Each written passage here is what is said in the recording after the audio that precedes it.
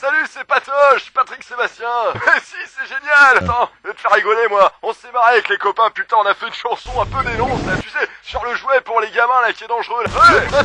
Puzzle en mousse qu'on achète euh, et qui tue les moutards. La la la.